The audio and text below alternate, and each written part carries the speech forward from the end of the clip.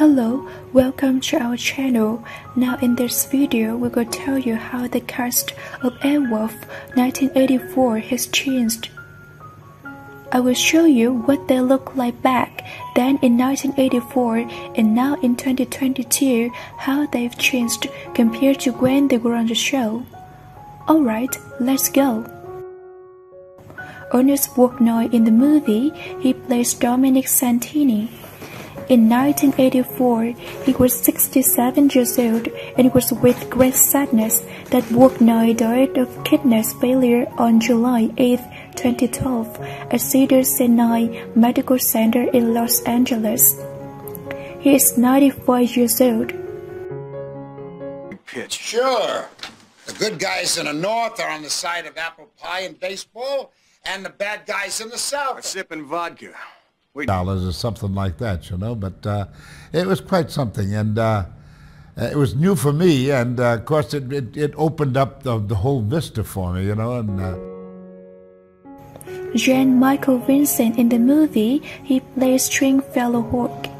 He was 40 years old in 1984 and it was with great sadness that Vincent died on February 10, 2019 at the age of 74 in Asheville, North Carolina from cardiac arrest while hospitalized at Mission Hospital.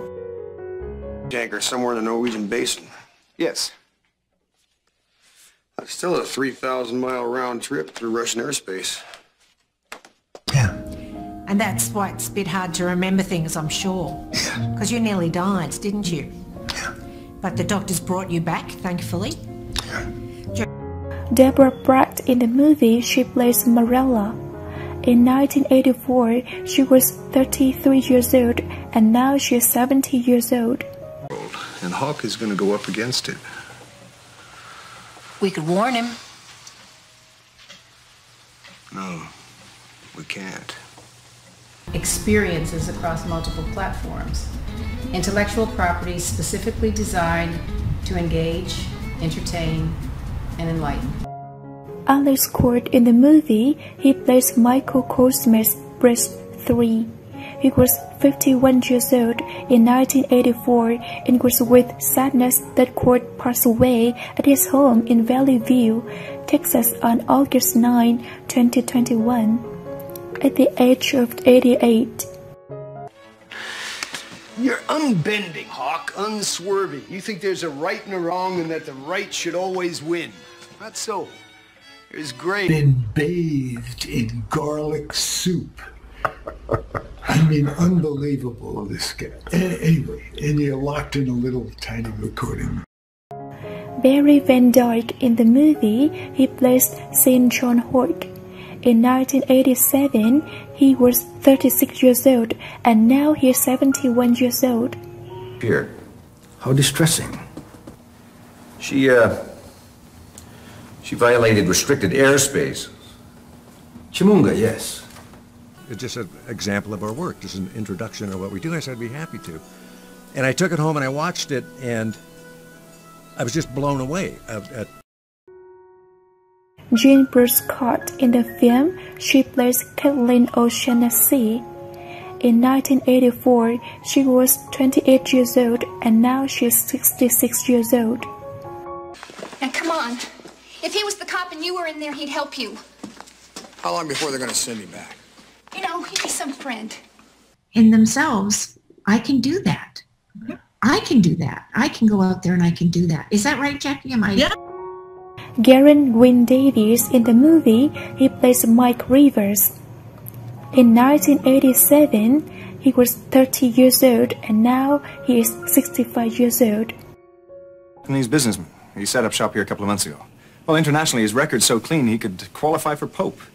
And he said Joe took him up on this charter and that's it. Yeah. Well, he had nothing but praise for Santini Air. in, in early uh, productions that the Queen at the time wanted him to uh, have a play written. It was they want, she wanted to see Falstaff in love. Michelle Scarabelli in the movie, she plays Joe Santini. In 1987, she was 32 years old and now she is 67 years old. She said he'd meet you here in the morning. But you're going to have to find somebody else to play with. This guy specifically requested Singe and Fly for him tomorrow. Hi, Michelle Scarabelli here. It's some kind of alien technology I'm not clear on, but you can find out more at galaxycon.com. William B. Davis. In the film, he plays Newmans.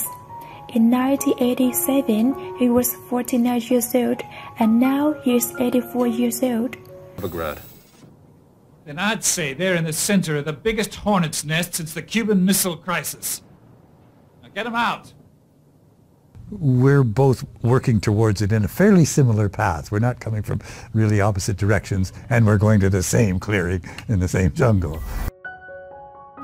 Anthony Sherwood in the movie, he plays Jason Locke.